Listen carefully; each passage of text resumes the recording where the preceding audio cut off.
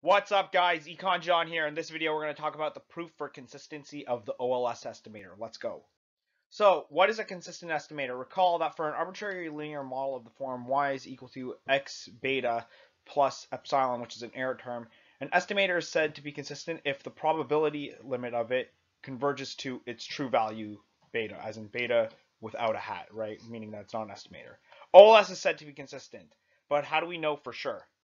So the proof that the OLS estimator is consistent is recall that the OLS estimator is defined as the following. Beta hat is equal to x transpose x inverse times x transpose y.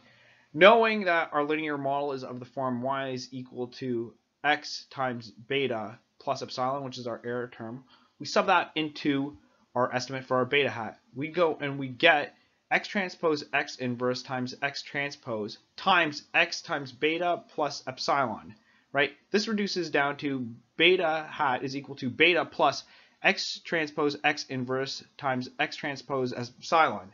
So now let's divide both sides by our sample size n, right? We go and get the following expression.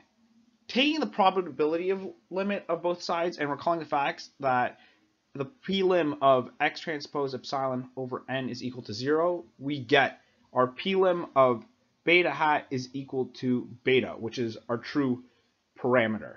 So this is the proof that the OLS estimator is consistent. Let me know what you thought, and I hope this video helps. Take care.